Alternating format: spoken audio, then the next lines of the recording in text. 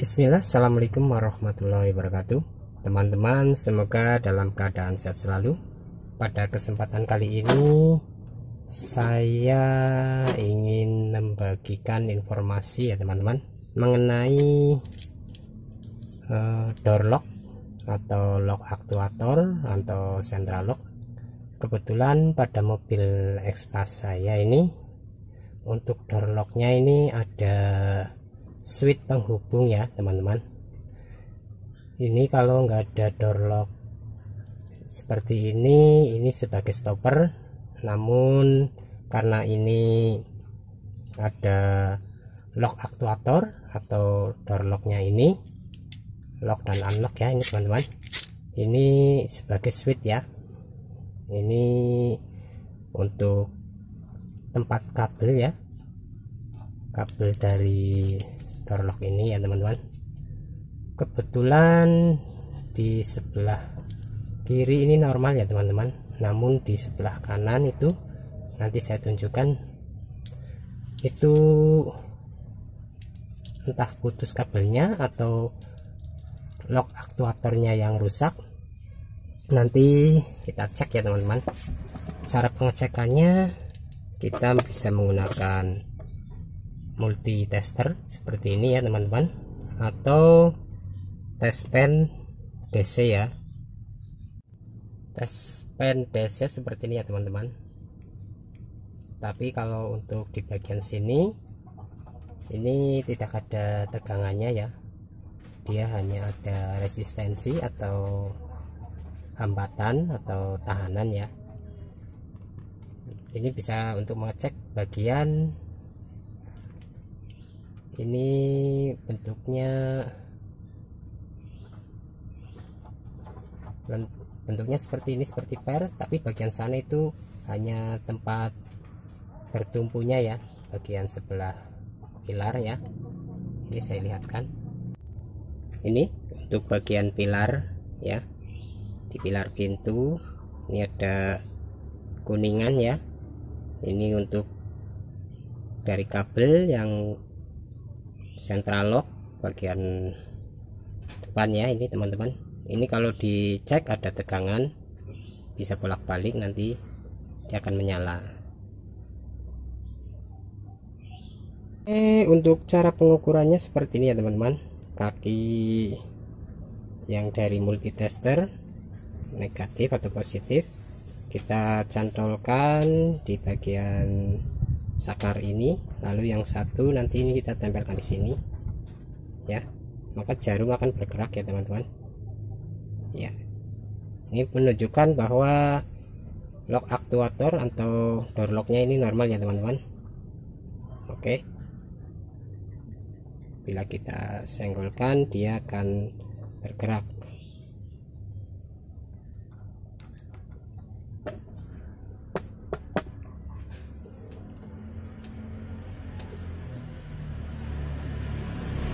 Oke ini untuk kontinu kontinuitas ya teman-teman. Dia berarti ada hubungan ya. Oke tadi kita mengukur bagian kiri ya teman-teman normal. Sekarang kita ukur bagian kanan.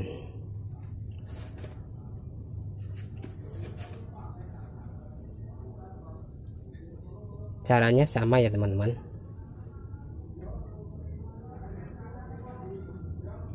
kita tempelkan kaki salah satu kaki. Lalu kita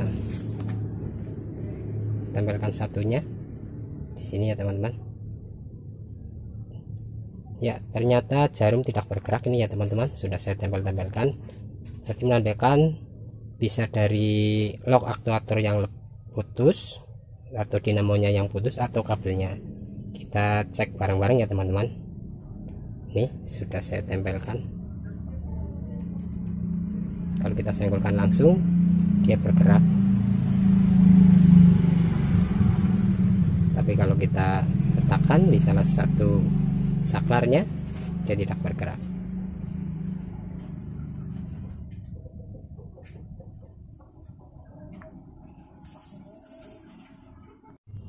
oke ya kita cek dulu bagian saklarnya sini apa lepas kabelnya atau masih masih utuh ya. Kita cek saja caranya kita lepas menggunakan kunci 10 ya teman-teman. Kunci 10 ya teman-teman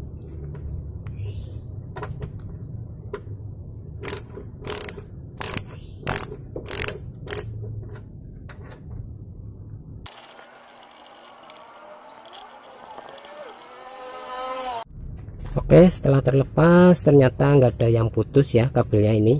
Berarti langkah selanjutnya kita bongkar ya door trimnya. Kita cek dari lock aktuator atau door lock atau central locknya ya teman-teman. Kita cek satu persatu dari yang paling mudah dulu ya. Ini nggak ada yang lepas. Kita cek pakai multitester coba ya tetap tidak nyambung ya.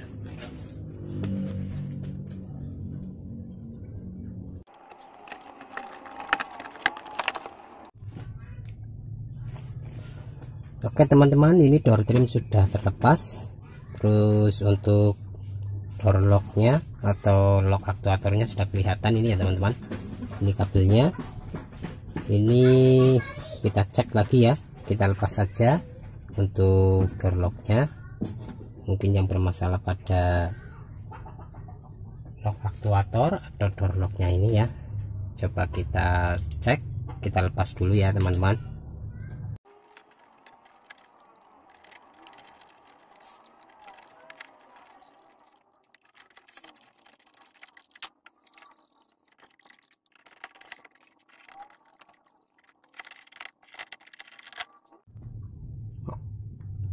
Oke teman-teman di door lock sudah terlepas ya.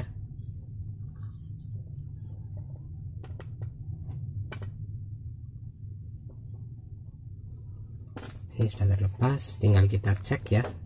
Kita cabut ini ada soketnya ya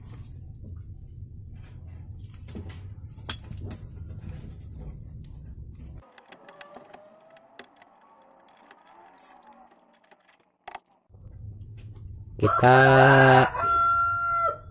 kita cek menggunakan multitester ya teman-teman. Karena tadi pas saya yang lepas kelihatannya kabelnya ada yang mengkapur ya. Jadi bisa jadi karena kabel tadi sehingga tidak terkoneksi dengan baik ya.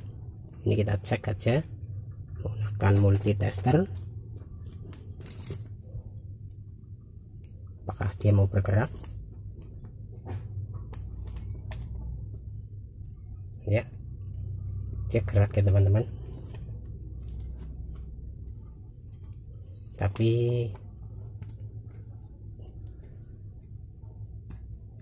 tidak normal ya gerak. Tetapi tidak normal gerakannya ya. Ini kita sambungkan seperti ini.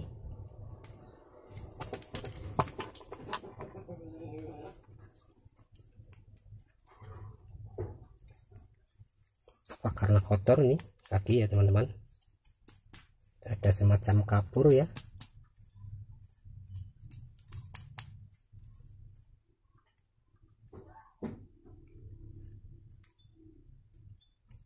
Tidak mau gerak coba yang baru ini ya. Kita cek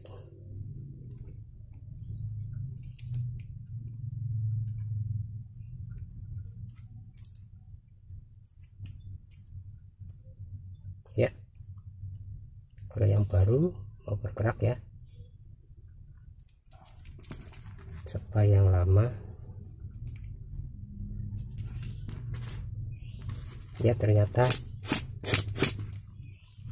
lock aktuatornya ya atau central locknya yang rusak. Kita ganti aja yang baru ini.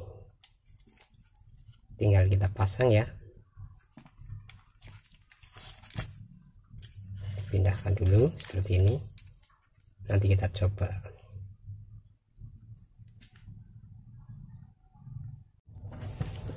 Tinggal kita pasang ya teman-teman. Seperti ini ya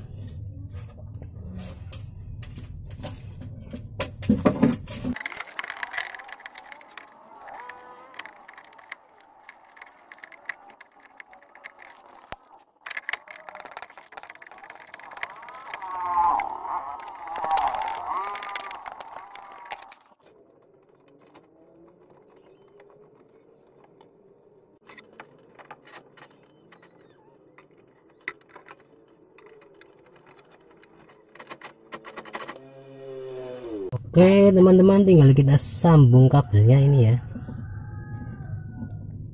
Yang biru. Ya kalau kebalik nanti ditukar lagi ya. Kita coba yang kayak gini aja. Biru ke sini ya.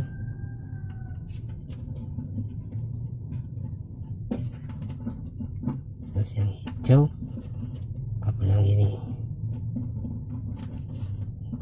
ini ada sekunya ya teman-teman. Jadi kita masukkan saja seperti ini. Kita tes dulu ya teman-teman. Oke teman-teman. Ini sudah terpasang semua ya. Kita coba menggunakan remote saja seperti ini.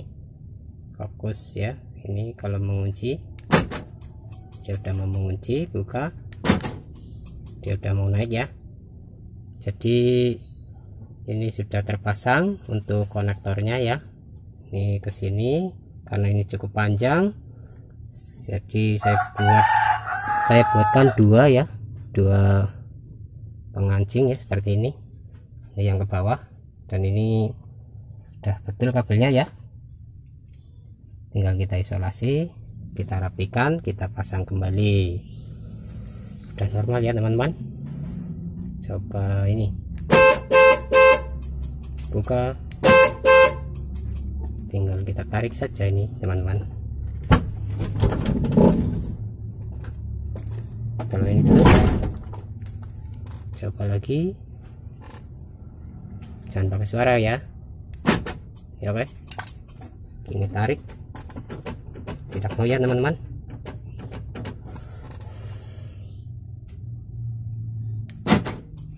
Udah normal lagi